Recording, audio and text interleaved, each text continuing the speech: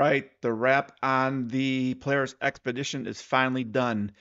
Here's a time-lapse video of the wrap being done. This was about 34 hours of video wrapped up in about a minute. So make sure you check out UTVFX. They've got a lot of great wraps and options and an awesome website. I'll leave a link below for you to check them out. So enjoy.